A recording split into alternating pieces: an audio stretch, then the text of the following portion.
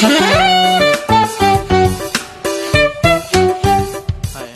uh, I'm Joey De Guzman, saxophone player, saxophonist. Ah, uh, ito, ginawa ko is tumugtog ako sa mouthpiece lang. Uh, inaaral din talaga sa, or kailangan din natin siyang aralin para mapantay natin or ma, ma, ma-correct yung tamang posisyon ng throat. No? Kasi hindi naman ang uh, ay nandito lang sa sa bibig, no? Or nandito lang sa labi. Ang embouchure is actually dapat kasama lahat, no?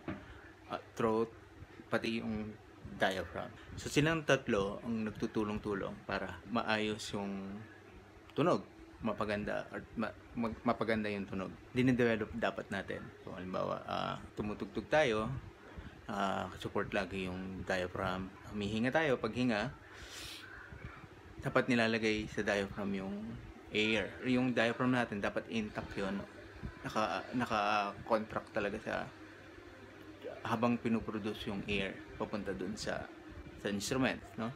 Tapos yung throat, so dapat may position siya. So base dito sa pag-practice or pagtugtog ng mouthpiece, may position yung throat kada notes. So ganun din lalabas sa pag may instrument na or may sax na.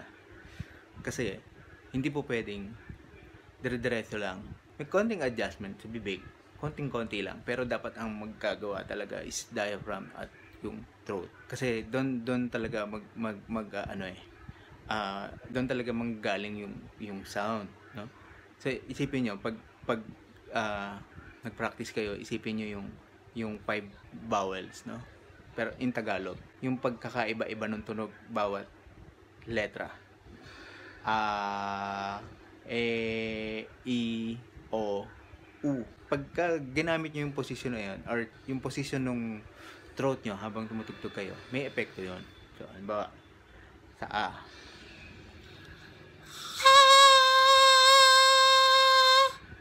E. I. O. U. So, nap- napansin nyo? Napansin nyo yung, yung pagkakaiba-iba ng tunog. So, lalagay ko sa, sa sax para mas malinaw.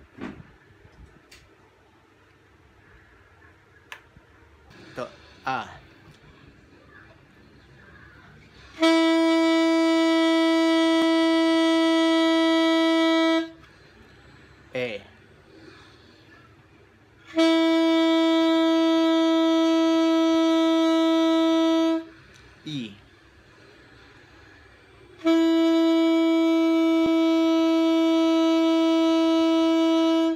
O.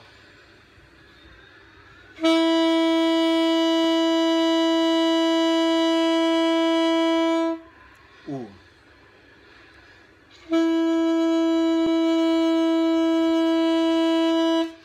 So, ayun, yun yung epekto nung bawat letra. So, ako ang ginagamit ko is E. E, E, E. Kasi doon sa lima, usually ginagamit ng iba A, E, at O. Ang I at U, iniiwasan nyo. Kasi pag, pag binanggit nyo nga lang, di ba? A, E, I, O, U. So, ano na kagad? May diferensya na kagad. No? So, close yung sound niya. So, para siyang inipit. I, bu, i, kahit laki. I, i, ayun pa rin siya. No? Ano pa rin. So, dapat A, E, or O. Sa lahat yan, open. Ako, ginagamit ko yung E, kasi medyo, open, pero may konting, may konting filter or parang close ng konti. Kasi di katulad ng A saka O. Open talaga yung A, O. So, ano kagad na ah, tawag dito, mabilis maubos yung hangin. So, doon sa position ko nung E, so ano na lang yun. Ah, pagka nag, nag-scales ako or tumutugtog ako, na-adjust din yun. Pero E pa din yung position niya. Na, na-adjust siya, ah, parang sasara ng konti. Para like, sinasabi ko lagi, E pa din, no? Pero, pero naga, naga-adjust siya eh. Base doon sa, sa notes na, na tinutugtog ko. Bawat, bawat notes, may posisyon, di ba? Sabi ko nga kanina.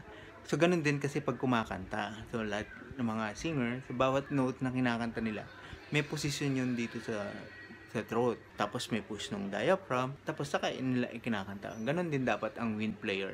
Sa ibang instrument, for example, trumpet or brass, hindi ko alam kung ano yung ano nila. Pero ang pagkaka al- nakikita ang nakikita ko dun sa iba na kasama sa school dito naman sila sa, sa lip no nag ah, kailangan nag napapavibrate nila. Nakakatugtog sila ng ng lip lang. Walang mouthpiece walang trumpet walang trombone. Nag nagaano lang sila. Ganun din yun. May po, may position di may tulak din ng diaphragm yon no? So para mapaayos natin yung yung tunog mapaayos yung yung yung yung timbre ng tunog natin. Dapat may may tulong talaga ng ng diaphragm no? Ah, so yun lang po. Na sana may natutunan kayo. Ah, hanggang sa muli po ulit. Maraming salamat